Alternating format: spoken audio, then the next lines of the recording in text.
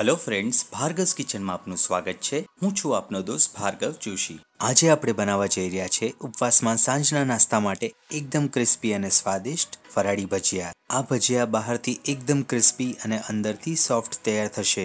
કોઈ પણ પ્રકારની પૂર્વ તૈયારી વગર આ ફરાળી ભજીયા ફક્ત દસથી પંદર મિનિટમાં જ તૈયાર કરી શકો છો. આ ભજીયા એટલા સ્વાદિષ્ટ લાગે છે કે જ્યારે પણ તમે આ ભજીયા ટ્રાય કરશો તો ઉપવાસમાં આ ભજીયા ફરાળમાં તમારી પહેલી પસંદ હશે. તો ફરાળ માટે એકદમ ટેસ્ટી રેસીપી છે, તો વિડીયોને એન્ડ સુધી જરૂરથી જોજો. અને જો તમને મારી રેસીપી પસંદ આવે, તો પ્લીઝ એક લાઈક ચોક્કસથી કરજો. તો ચાલો રેસીપીની શરૂઆત કરીએ. જો તમે મારી ચેનલ પર નવા હો, તો ચેનલને સબસ્ક્રાઇબ કરી દો અને બેલ આઇકન પર ક્લિક કરી દો, જેથી આવનારી મારી દરેક રેસીપીની નોટિફિકેશન તમને મળતી રહે. ફરાળી ભજીયા બનાવવા માટે સૌથી પહેલાં બે મીડિયમ સાઇઝના કાચા બટાકા લઈશું. અને આ રીતની મોટી છીણીની મદદથી બટાકાને છીણી લઈશું. બટાકાના મોટા મોટા લચ્છા થાય એ રીતે આપણે છીણવાના છે. તો મેં અહીં બંને બટાકાને છીણી લીધા છે. હવે આપણે તેમાં જરૂર મુજબ પાણી એડ કરીશું અને બેથી ત્રણ વાર ચોખ્ખા પાણીએ ધોઈ લઈશું. આ પ્રોસેસ કરવાથી બટાકામાં રહેલો સ્ટાર્ચ નીકળી જશે અને જેનાથી આપણા ભજીયા એકદમ ક્રિસ્પી તૈયાર થશે. તો મેં અહીં બટાકાની છીણને સરસ એવી ધોઈ લીધી છે.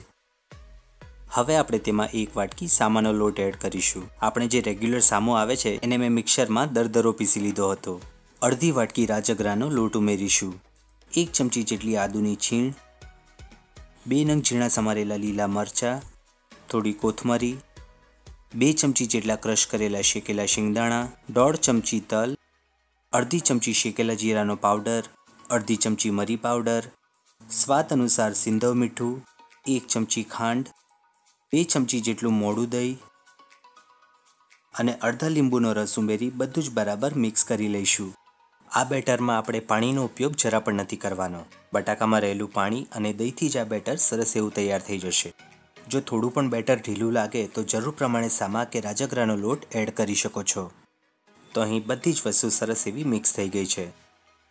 હવે આપણે આને ફક્ત બે જ મિનિટ માટે રેસ્ટ આપીશું, જેથી સામાનો લોટ સરસ એવો પલળી જાય. તો બે મિનિટ બાદ આપણું બેટર ભજીયા બનાવવા માટે તૈયાર છે.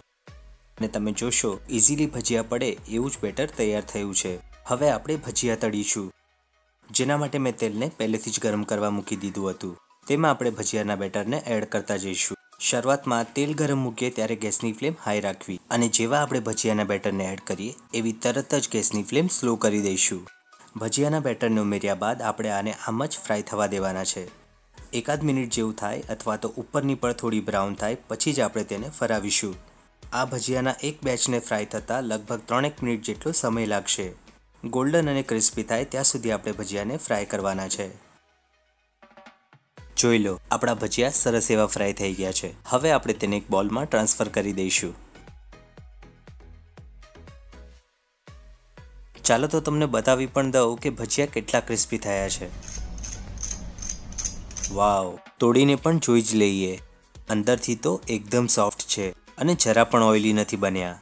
આવા ભજીયા જો ફરાળમાં મળી જાય તો ઉપવાસ કરવાની મજા આવે. તો મિત્રો, તૈયાર છે બહારથી એકદમ ક્રિસ્પી અને અંદરથી સુપર સોફ્ટ એવા ફરાળી ભજીયા. આ ભજીયાને મેં ફરાળી ચટણી સાથે સર્વ કર્યા છે. દહીં અથવા તો ગરમા ગરમ ચા સાથે પણ આ ભજીયા ખાવાની ખૂબ જ મજા આવે છે. તો આ રીતથી સુપર ટેસ્ટી ફરાળી ભજીયા જરૂરથી ટ્રાય કરજો અને તમારો અનુભવ મને કમેન્ટ બોક્સમાં ચોક્કસથી જણાવજો. આશા રાખું છું કે આજની રેસીપી તમને અવશ્ય પસંદ આવી હશે. અને જો પસંદ આવી હોય તો આ વિડીયોને લાઇક અને તમારા ફ્રેન્ડ્સ અને ફેમિલી સાથે શેર ચોક્કસથી કરજો. અને આવી જ અવનવી અને સ્વાદિષ્ટ રેસીપી જોવા માટે પ્લીઝ પ્લીઝ પ્લીઝ ચેનલને સબસ્ક્રાઈબ ફટાફટ કરી દો.